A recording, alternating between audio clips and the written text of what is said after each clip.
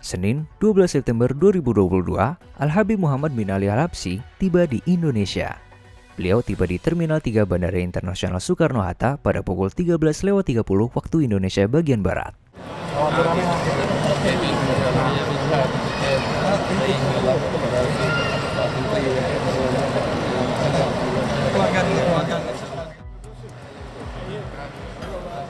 Al-Habib Muhammad bin Ali Al-Habsyi adalah putra dari Musyib Al-Habsyi di Seiwon yaitu Al-Habib Ali bin Abdul Qadir Al-Habsyi.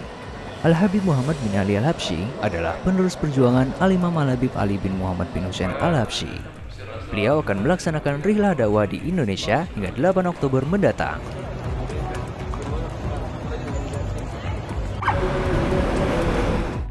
Setelah dari Bandara Soekarno-Hatta, Al-Habib Muhammad bin Ali Al-Habsyi mengunjungi makam Al-Habib Husain bin Abu Bakar Al-Aidrus di luar Batang. Beliau berziarah bersama rombongan, dan kedatangan beliau disambut antusias peziarah yang ada di makam keramat luar Batang.